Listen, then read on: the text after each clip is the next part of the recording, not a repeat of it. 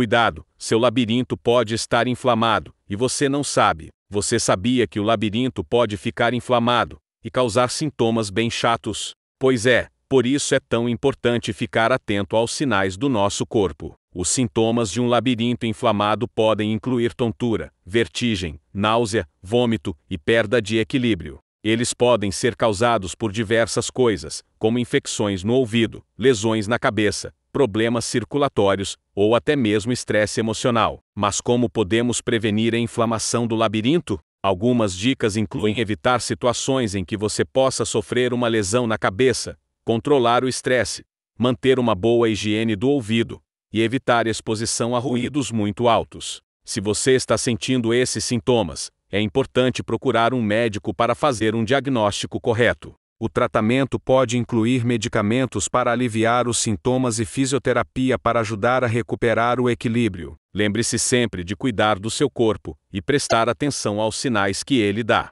Se você está sentindo algum dos sintomas que eu mencionei, não hesite em procurar ajuda médica.